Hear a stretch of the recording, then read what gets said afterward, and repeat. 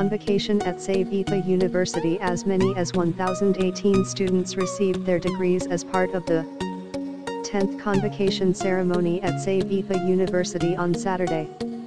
According to a press release, N.M. Veeraiyan, Chancellor of the university, who presided over the event and handed over the degrees to TH graduates, spoke about the need to impart quality education and equipping students who will be future your leaders with confidence and courage.